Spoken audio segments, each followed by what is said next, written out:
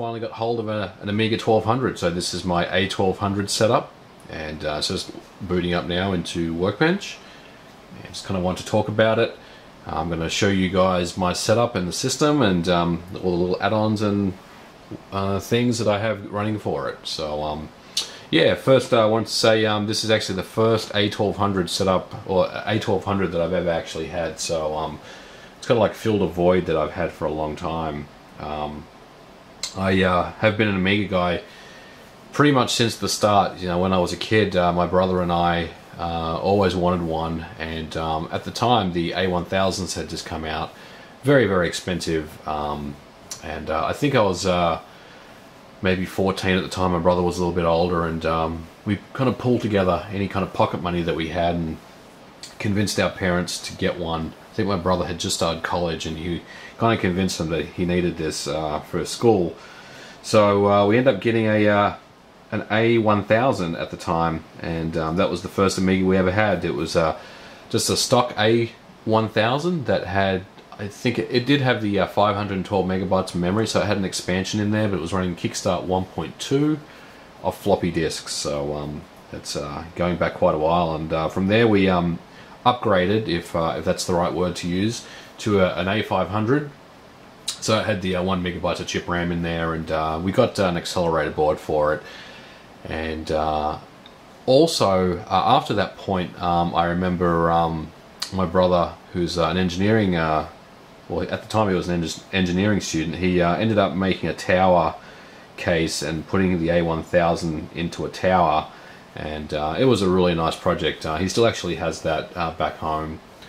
So I'd love to actually get a hold of that if I could, but it's uh, obviously easier said than done. And uh, after the uh, 500, I got hold of an A3000. I got it real cheap, and um, I basically, at that point, just expanded the crap out of it. So I dropped in a, uh, at the time it was an 040 warp engine running at 40 megahertz accelerator board, and I think there was 32 megabytes of memory in there, and uh, I added a dedicated sound card, dedicated graphics card, which I think was a Cybervision 64 3D, which at the time was pretty cool. Um, and also a network card and uh, added a CD burner and uh, just all sorts of any kind of expansion port that I could possibly get hold of, I did. Um, so that was uh, quite good. And uh, like I said, we still have those Amigas back home in storage. I kind of get a little bit nervous thinking about them because I'm sure some of those batteries have now leaked and um, hopefully not destroyed anything, but um, I'm, I'm, guessing a lot of those batteries have, have leaked and uh, caused some damage. So um, yeah, maybe one day we'll, uh, I'll get to revisit that. But um, in any case, uh, the A1000, I'm sorry, the A1200 is uh, something I've wanted for a while. Um, it's the last Amiga that was ever created by Commodore. Um, so it's a little bit special in that regard. It has uh, an updated chipset, so there's more colors than the kind of the stock Amigas. It runs the AGA chipset as opposed to the ECS. The ECS was a maximum of 32 colors, I believe, um, out of a palette of 4096. The AGA um, is a uh, is you can have up to 256 colors from a maximum of 16 million. So um, certainly a lot more expanded. There's also an updated processor in there. The old Amigas were running a 68000 CPU by Motorola running at 7.14 megahertz. An A1200 runs a 68020 processor at 14 megahertz, so um, better performance there. And uh, yeah, just a, just a really cool machine.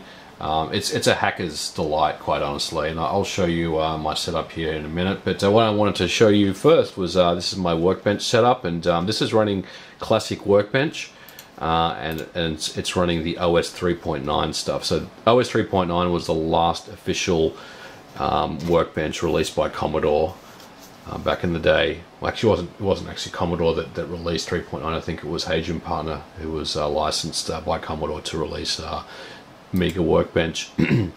But in any case, this is the workbench that I got. This is a 16 color desktop and it looks really, really nice. And the reason why I'm, I'm running at 16 colors and not 256 is just for, speed. Uh, when you start cranking up the, uh, the screen modes and the palette um, number of colors, it does start to slow down significantly. So um, it's almost to the point where it's not usable with 256 colors unless you're, you're doing something specific. But um, we're running, uh, we've got 64 megabytes of fast memory, so we've got an expansion board on this thing, and um, I just wanted to show the uh, sysinfo program and just run the diagnostics and show you uh, what's under the hood here, and then uh, we'll actually crack the machine open and show you uh, what is under the hood. So um, if I go into uh, sysinfo here, I'm not sure if you can see that very well, so let's just zoom in a little bit.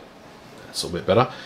As you can see, uh, it's an A1200 and it's running a 68060 at 50 megahertz. Now this obviously has an expansion um, inside of it and uh, basically I acquired a 060 expansion board for this running at 50 megahertz. Now the 060 is the fastest Motorola CPU you can get for the Amigas. Um, I know Amigas eventually went PowerPC and things like that, but um, this is the last um, 68000 series uh, CPU that was released. So this is the fastest uh, CPU you can get for the Amiga. Now, there have been people, smart people out there that have been, managed to overclock their CPUs and things like that. And I've seen people go as high as 100 megahertz, which is uh, just lightning fast uh, as far as Amigas go.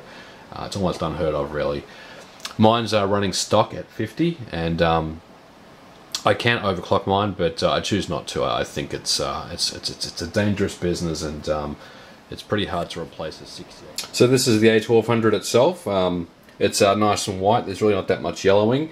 Uh, when I actually got this uh, machine, the keyboard itself uh, was quite yellow. So what I did was I ended up replacing the keyboard with a new one from Amiga Kit. Amiga Kit's actually a very, very good website for Amiga parts where they uh, stock all sorts of different things. So I certainly, certainly recommend those guys. So as you can see, the keyboard is nice and white. And uh, the case is starting to get a little bit yellow, but certainly nothing to worry about. Uh, still looks quite good. So yeah, swapped out the keyboard just purely for aesthetic purposes. The old keyboard that I had works fine, but I uh, just wanted to get a nice white looking Amiga. On the side here, we have a um, Linksys wireless card. Now what's interesting about the A1200 is, if I pull this out, is there's actually a PCMCIA port in there. So all these kind of um, wireless Ethernet cards and wired Ethernet cards and other things, um, as long as there's a, an appropriate driver for it, will actually work in a an Amiga 1200 and also the A600 as well, which had the PCMCIA slot. Um, I've seen external compact flash adapters um, with uh, compact flash cards that are formatted as FAT32, so you can easily transfer back and forth from an Amiga to a PC, get your files across and things like that. Uh, I've also I've seen all sorts of different PC PCMCIA solutions. Um, there's also memory expansions you can get for it. Uh, for those people that don't want to actually open up their Amiga and just add some RAM to it, um, you can certainly do it from here as well. So there's that, and uh, this is a, uh, a Amiga mouse. This is a, a, new one as well from Amiga Kit. It's a pretty old mouse. There's no mouse wheel. Alright, so this is the underside of the Amiga, and uh, the 1200 and the 600 have what's called a trapdoor expansion slot, and it's basically a plastic uh, sheet here that uh, you can pop open, and um, there's a uh, an interface port here as well. And this is where the, uh, the accelerator board expansion actually lives. This is a Blizzard 1260 060 expansion board. And uh, this big beast here is the actual 060 CPU. Now you might be wondering why it's not heat sinked or fanned. Um, so for those people that don't know, the 060 CPU actually runs cooler than an 040 and a stock one running at 50 megahertz doesn't actually require any fan or heatsink. Uh, it's only when you start overclocking and uh, you know changing, swapping out the crystal and, and putting in, uh, in a more powerful oscillator is when you really not start to think about needing some kind of cooling solution. But um, this runs rock solid without any type of fan or heatsink. Um, here is a uh, 72 pin SIMM, and this is the 64 megabytes of fast memory. Um, I can actually upgrade this to 128 as well. We can put a 128 um, meg SIMM in here as well. This expansion here is uh, an optional expansion where you can add a uh, SCSI module to it, and uh, that's quite nice if you want to get a, a, a, very fast ultra-wide SCSI type solution for your A1200. Um, so yeah, this is the Blizzard card. It's actually a, it's an absolute beast of a card. It, it runs really well. And uh, no issues at all and it's super fast. And you can't really see that very uh, very well but there's a, a, a, battery under there as well for, uh, for setting your clock and all that kind of stuff. So yeah what I'm going to do now guys is take off the screws and show you the insides and uh, show you what we've got under the hood. Alright guys so we've uh, unscrewed it and flipped it over. I'm going to pull the, the case off here. And uh, when you lift this up there's the LED connectors for the power and the hard drive this is the uh, keyboard and basically this ribbon just pops out like this out of this connector here. So let's pop that out. And this keyboard just comes away. So it's quite easy to swap out the keyboard. There's no, no real issue there. And uh, as you can see this uh, ribbon cable or this uh, connector here is connected to this interface on the motherboard. So let's pull that off and then uh, we can take this case away. And uh, this is the inside of my A1200. So uh, yeah, I just going to want to show you around here and talk about some of the things we've got. First thing is we've got a uh, 4 gig compact flash or an IDE to compact flash adapter. So this is the uh, 44 pin IDE port, and then there's the uh, compact flash adapter. Um, everyone's got one of those these days. It's really nothing special. Uh, I think every person I know that has an Amiga is running a compact flash solution. This is just a generic 4 gig compact flash card and uh, runs really fast. Um, underneath this board here, this red board is the uh, Indivision Mark II AGA scan doubler. And um, I didn't really talk about that before, but basically this board um, just clips on top of the uh, Lisa chip, which is the uh, the video chip that provides the uh, video signal.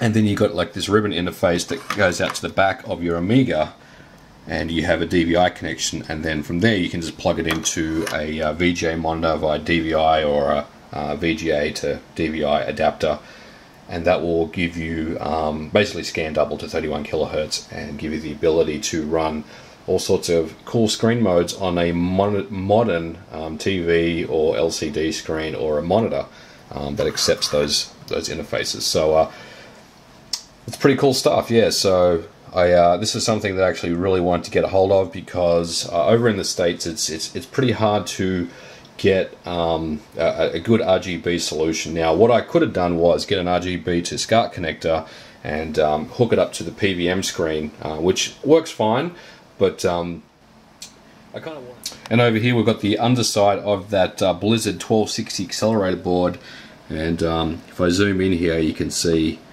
uh, the Blizzard 1260 on the underside there. This, so this is the the backside of the trapdoor expansion, and um, yeah, so that's uh, that's the accelerator board.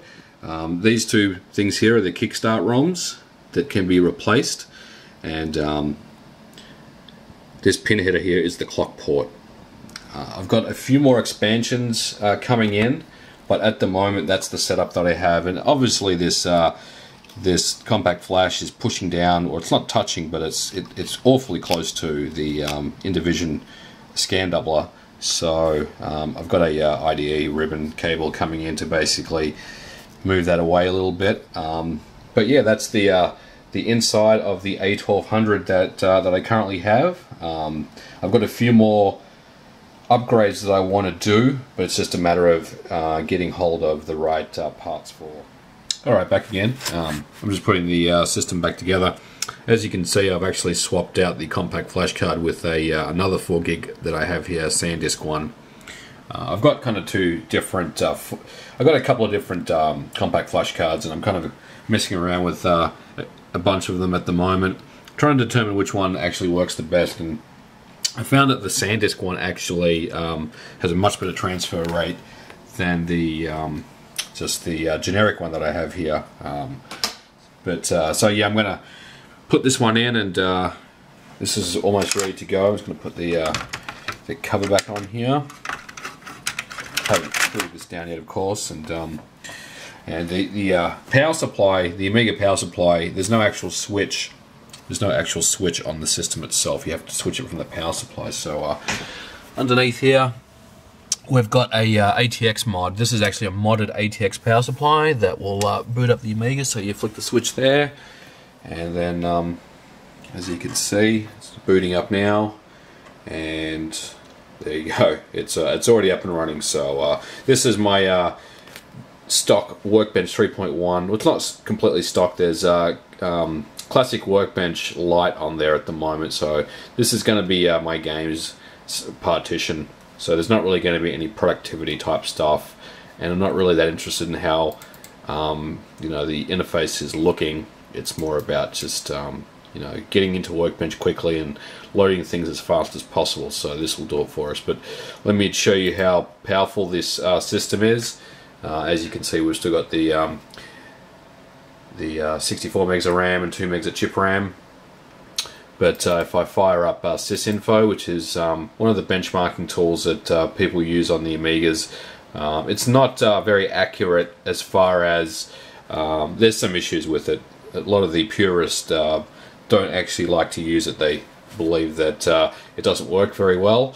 Um, but let me show you um, any case uh, the uh, speed that we have here.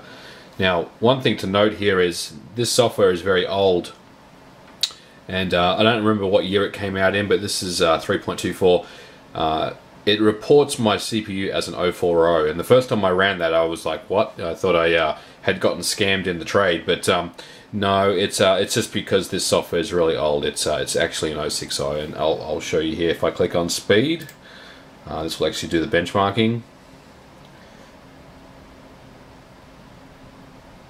And as you can see, the uh, this uh, this bar here is an, an A4000 040 at 25 megahertz, and we're running an 060 at, at 50. Um, so we're basically two times as fast as an 040 or an, an A4000, and we're running at 38.73 MIPS. Now, this number here is incorrect. Um, it's uh, it's not accurate at all. But uh, I just wanted to show you the uh, the difference here in performance at least compared to these other Amigas. Um, so that's uh, that's what that looks like, which is uh, pretty good. That's that's what you would expect. Uh, I've kind of looked on the uh, forums and stuff, and, and everyone else uh, who's who has the similar board and similar spec 060 accelerated board um, is running about the, at around the same, give or take. Um, but yeah, that's that's that, and uh, yeah, so that's uh, that's pretty cool. Actually, the other thing I want to show you was the uh, drive speed here. Um, this is the speed of the compact flash. It's running at uh, 2.1 meg per second transfer rate, which is it's pretty good. It's uh, it's again that's not entirely accurate. Um, I, I, I, I, believe that the theoretical limit is uh, 2 meg per second, um, but uh, you can get um, add-ons to increase that performance.